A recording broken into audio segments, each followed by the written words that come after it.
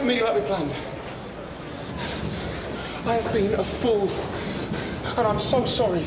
I was dishonest, and it was stupid and thoughtless, and I will never do anything like that again. Kevin was right. Kevin? I was using you pushing me as an excuse, so I didn't have to think about me and Dawn and what I'd done to you.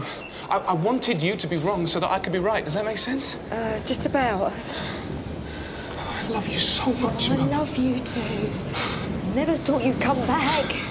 I didn't really have much choice. Oliver. I, I need you to be by my side because if you're not, what's the point? You know, a new job, a new life, it, it doesn't mean a thing if I can't share it with you, so come with me, please. There is a wonderful, beautiful life just waiting for us. Let's begin it.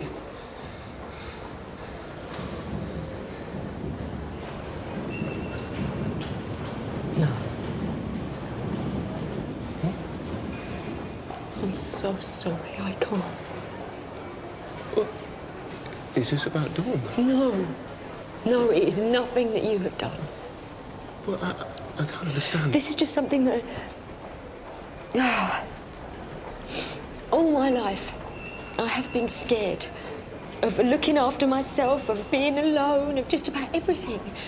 And the thing is, how am I ever going to learn how to be happy when I leave it to a bunch of other people to decide? Other people? Yes, you know, friends, family, husbands, boyfriends. All my life I've been happy or unhappy because of their choices, the things that they've done. It's like I give them all the power and I'm.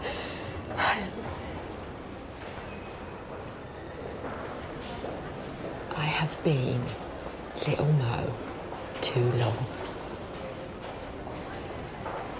Maybe it ain't never gonna be my turn. But the thing is, I'm never gonna find out, am I? Unless I learn to stop being scared.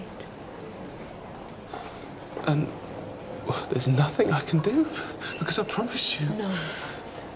No.